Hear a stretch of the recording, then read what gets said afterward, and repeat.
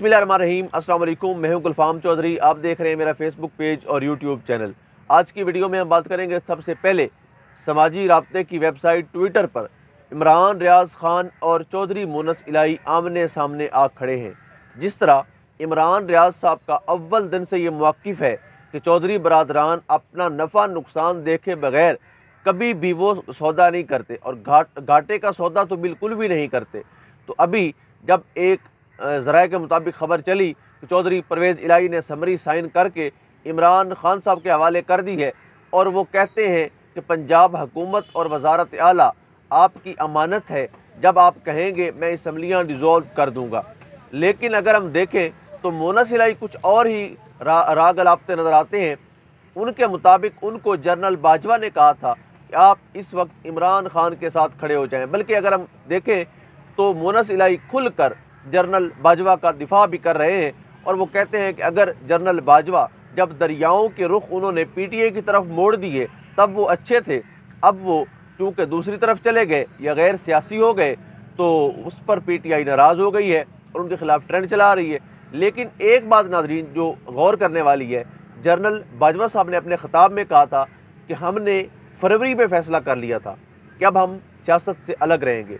लेकिन अदम अतमाद आ रही है अप्रैल में तो मोना सिलाई साहब को अदम अतमाद के वक्त जनरल बाजवा साहब कह रहे हैं कि ठीक है, आप इमरान खान साहब के साथ खड़े हो जाएँ, या पंजाब इसम्बली में जब अतमाद आ रही है तो उसमें वो कह रहे हैं कि आप उनके साथ खड़े हो जाएँ। यानी इससे यह वाज होता है कि जो सियासत में मुदाखलत थी, वो ख़त्म नहीं हुई, बल्कि वो भी उसी तरह था जिस तरह उनका न्यूट्रल होने का दावा था।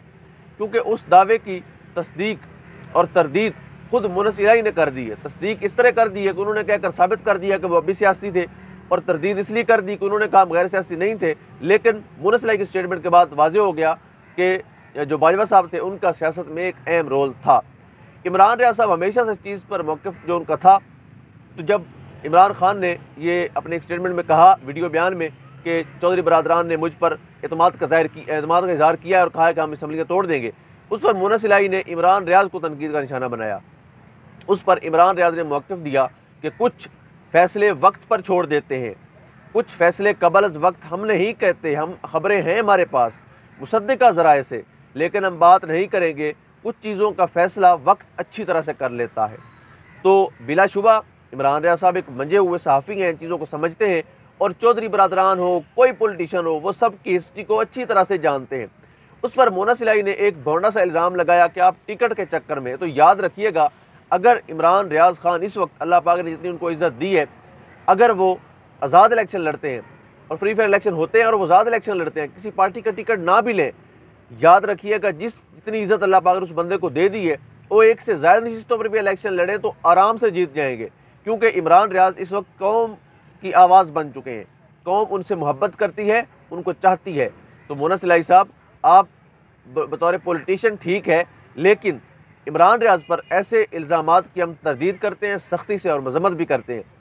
बरसूरत उस पर अब देखते हैं वक्त फ़ैसला करेगा कि चौधरी बरदरान वफाद के साथ खड़े थे या वफादारी के साथ खड़े थे।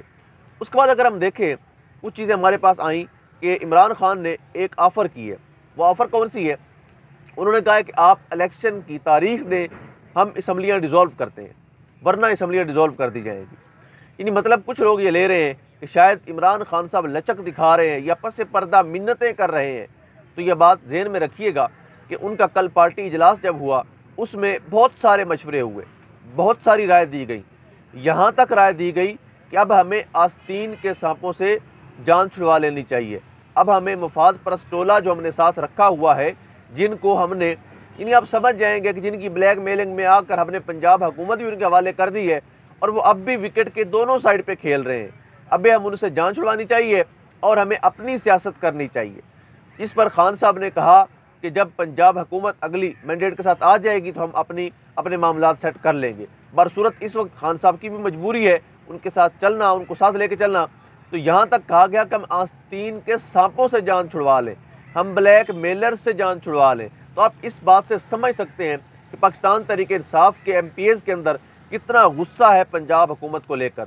और सिलाब जब आया इसमें बलूचिस्तान में गवर्नमेंट होती कोई नहीं है। सिंध का वैसे बेड़ा गर्क है। पंजाब गवर्नमेंट ने भी खातर खा इकदाम वो नहीं किए, जो बतौर वज़ी अला परवेज़ लाई साहब को या उनके इस टीम को करने चाहिए थे।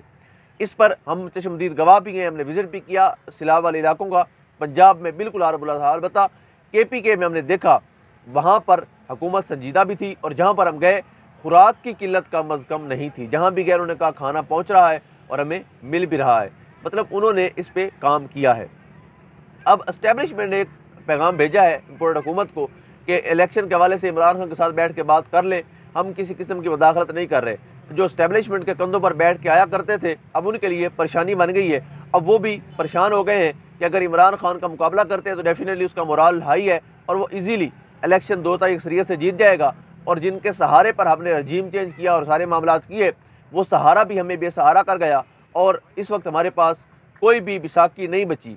अब अगर वाकई इस्टेब्लिशमेंट अपने आप को न्यूट्रल रखती है तो जो पीडीएम की जमातें हैं, उनको बुरी तरह शिकस्त का सामना करना पड़ेगा, क्योंकि इलेक्शन सर्वे के मुताबिक, जो इलेक्शन कमीशन ने सर्वे किया और रिपोर्ट आई, उसके मुताबिक 75 परसेंट जो वोट हैं, वो सिर्फ़ पाकिस्तान तरीके इंसाफ को पढ़ रहे हैं और 25 परसेंट पी की चौदह जमातों को पढ़ रहे हैं।